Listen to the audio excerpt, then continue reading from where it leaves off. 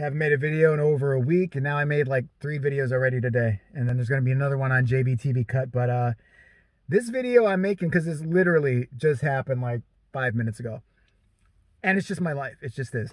I'm sitting here and I'm looking down on my phone, and I'm getting ready to go in my house and drop some shit off, and then go back out because I have to be someplace else for work tonight. And I'm sitting here and I see these two hot, and I mean fucking like hot chicks coming up.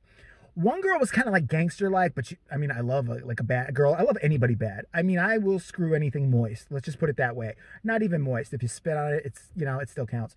But um, I saw these two girls walking up. This one hot monkey, monkey, pay attention, black chick, hot black chick.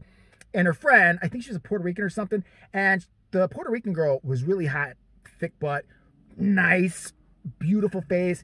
Wasn't a fan of the teardrop tattoos. Not a big fan, but really, really cute, really, really hot. The black girl, super hot. So even with the mask on, I could just see hotness there. And I'm sitting here, I'm like, why are they walking right up in my car? But I didn't think of it because either one of them went on either side. I had unlocked my doors. And guess what happened next? The sex start. No, I'm kidding. What happened next was all of a sudden, one girl got in this side and one girl got in this side, and they're just sitting there. And I had the weirdest reaction. I wasn't freaked out. I didn't think they were trying to rob me. I said, Can I help you ladies with anything? Like, literally anything. And the black chick behind me is like, Oh my God, we thought you were our Uber driver. We, I'm so sorry. I'm so sorry. She goes, You know what? But you're really chill though. And the other girl's like, Yeah, oh my God. I'm sorry. I'm sorry. I mean, they looked like kind of real tough chicks, but they talked really, really.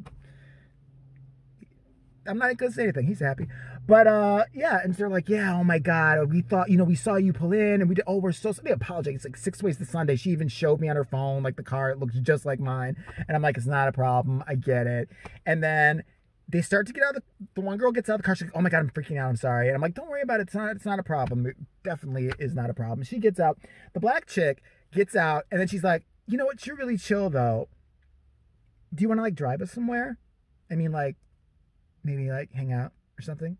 I mean, like, I know it's weird. It's weird. It's weird. I'm sorry, it's weird. I'm like, no, it's not weird. I have to be somewhere for work. Really, God, tonight? Tonight, right? You're gonna do this to me tonight. I don't have Stevie with me. I have nobody else with me. I've got the two hot go. I don't care if they have COVID. Let me put it like that. They could spit COVID into my mouth, my ass, wherever they want to. I don't care. I would but I have to be somewhere. So I'd be like, I really wish I could, and I hope they don't think I was just blowing them off and yeah, it's like the start to a really, really great porno, but I'm just not going to be in it ever, ever, never. It's not going to happen. So that's my night, in my life. Fucking hell.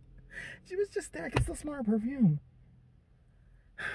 And they looked really fun too. Even if there's no sex or anything like that. I mean, I was getting a real good vibe though. I was. I mean, I'm not one of those dudes who's like, I totally got a vibe. She walked past me. Like, no, I'm not like that at all. But I was getting a major vibe that we were gonna go get some weed. I was not gonna smoke it, but if it was around me, I'm gonna be like Bill Clinton. I inhaled secondhand, and then whatever happened happened. Whatever weirdness kicked off, I am down for. I'm bored to death with this COVID shit as it is, but it's I gotta be somewhere.